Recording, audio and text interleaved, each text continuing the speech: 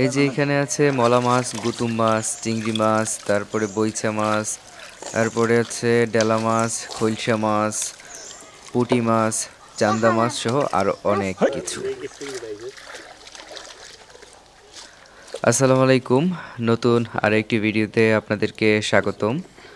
মাছ ধরার আরেকটি ভিডিও নিয়ে আপনাদের সামনে হাজির হলাম। আজকে আছি আমরা আমাদের বাড়ির পাশে থাকা একটা পরিত্যক্ত পুকুর। এই পুকুর পাড়ে এবং এই পুকুর থেকেই মাছ ধরা হচ্ছে গুতাইন্না জাল দিয়ে। গুতাইন্না জালটা হচ্ছে আমাদের লোকালি এটাকে আমরা গুতাইন্না জাল বলে থাকি, আর সেই জালটা দিয়েই মাছ ধরা হচ্ছে। তো পরিত্যক্ত ছিল, এটা অনেক বছর ধরে মাছ চাষ করা হয় না, কিন্তু বর্ষাকালে এটাতে পানি ঢুকে।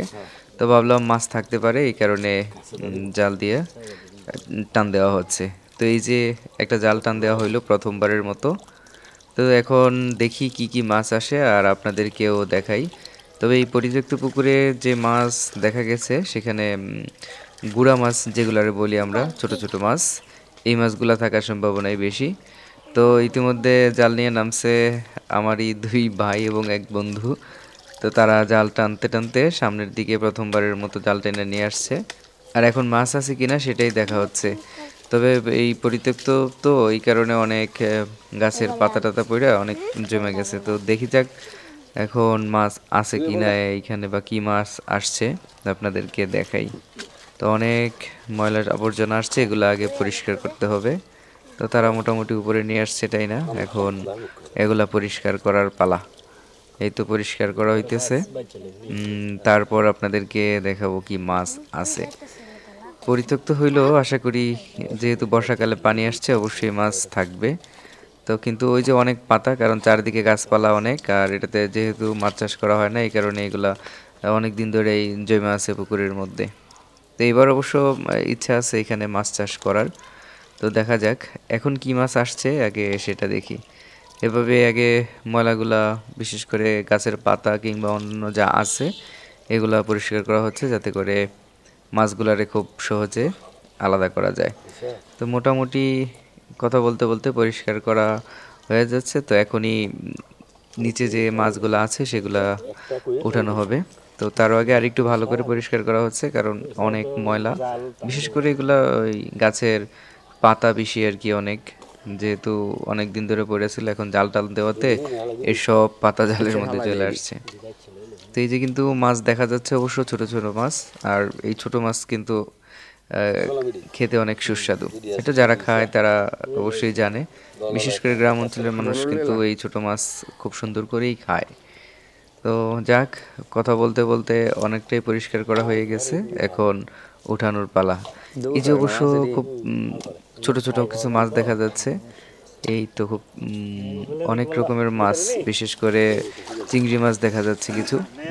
এই সময় কিন্তু আপনার আমাদের এলাকাতে কোথাও চিংড়ি মাছ পাওয়া যায় না। কিন্তু এই যে পরিত্যক্ত পুকুর বর্ষাকালে পানি এসেছিল এইখানে জাল দিয়ে টান দেওয়াতে কিছু মাছ আসছে। তবে খুবই ভালো লাগতেছে যে এখানে আসছে ছোট ছোট আহ, চিংড়ি মাছ। এগুলো অবশ্য খুব ছোট কিন্তু খাওয়ার উপযুক্ত। তো দেখি এবার মাছগুলাকে একসাথে করা হচ্ছে। এই তো ছোট ছোট মাছ। এই ছোট মাছ কিন্তু অনেক টেস্টি আমাদের কাছে বিশেষ করে আমার কাছে তো অনেক ভালো লাগে। তো এই যে মুসা খুব সুন্দর মতো ময়লাগুলো পরিষ্কার করতেছে। দেখি কি মাছ সম্পূর্ণটা উঠাইলে আনা হয়তো বোঝা যাবে যে কি মাছ আছে এখানে তো যেহেতু পরিষ্কার ময়লা অনেক এই জন্য খুব ভালো করে পরিষ্কার করা হচ্ছে যাতে করে খুব সহজে পরবর্তীতে এগুলা আর ঝামেলা না হয় পরিষ্কার করতে যায়। পানিতে রাইখা এগুলা পরিষ্কার করে নিলে উঠানোর পরে আর তত একটা পরিষ্কার করতে ঝামেলা হবে না। আর নয়তো পরিষ্কার করতে অনেক সময় লেগে যাবে। তো এই কারণে তারা খুব যত্ন সহকারে পরিষ্কার করতেছে। ভাবছিলাম উঠায় ফেলবে, কিন্তু উঠায় নাই। অবশ্য লক্ষণীয় বিষয় যে জোয়ারের পানি আসাতে অনেক শামুক আছে, যে শামুকগুলাও জালের মধ্যে উঠছে। তো এই তো ছোট ছোট মাছ দেখা যাইতেছে। দেখি কি মাছ উঠে। এই তো হ্যাঁ হ্যাঁ। খুব সুন্দর লাগতেছে, যেহেতু সামনে থেকে দেখতেছিলাম। এই যে অনেক মাছই আসছে অবশ্য মাশাল্লাহ অনেক মাছ। দেখা যাক, সবগুলা মাছ খুব কাছ থেকে দেখাইলে আপনাদেরকে কীরকম লাগে। এই যে একসাথে সব একটা বলা হয়েছে অবশ্য মাছ নেওয়ার জন্য, এই বলের মধ্যে নিয়ে নেওয়া হবে। আর বাকি যে ময়লাগুলো আছে, এটি অবশ্য বাড়িতে নিয়ে পরিষ্কার করতে হবে, কারণ এগুলো পরিষ্কার করতে গেলে অনেক সময় চলে যাবে। আরও তো জাল টান দিতে হবে মাছ ধরার জন্য এই কারণে অত পরিষ্কার করা সম্ভব হবে না।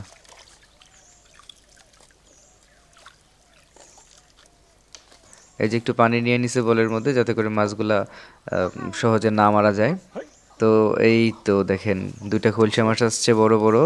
আর এই যে ছোট ছোট সাদা চিংড়ি মাশাল্লাহ অনেক। এই চিংড়ি কিন্তু এই সময় বিশেষ করে পাওয়া যায় না। নদীতেও পাওয়া যায় না আর এমনিতে তো পাওয়া যায়ই না। আর এই চিংড়ি মাছ কিন্তু গ্রাম অঞ্চলেও অনেক দাম। ছোট ছোট চিংড়ি হইলেও এগুলা অনেক দাম। তো যেহেতু পুকুরের মধ্যে টান দিয়ে এই চিংড়ি মাছ আসছে, দেখতে অনেক ভালো লাগতেছে। এই যে গুতুম মাছ মানে এগুলো আমাদের এলাকাতে বলে আর কি, এই মাছগুলা যারা আমি যে নামগুলো বলতেছি, এগুলো আমাদের এলাকাতে চলে। এই যে মলা মাছ, তারপরে এই যে পুঁটি মাছ, এরপরে এই যে বাতাইয়া মাছও দেখা যাচ্ছে। তো যাক, এবার আরও একটা টান দেওয়ার পালা। এখন আরও একটা টান দেওয়া হচ্ছে, যেহেতু প্রথমবার মোটামুটি ভালো মাছ আসছে।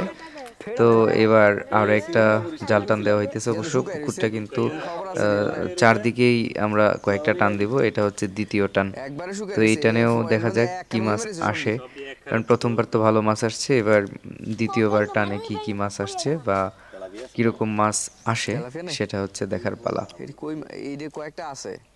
এই যে এই যে কাছাকাছি নিয়ে আসা হইতেছে তাই না? এবারও অনেক ময়লা আবর্জনা আসছে। যাক, এগুলো পরিষ্কার করে তারপর মাছ এখান থেকে আলাদা করা হবে।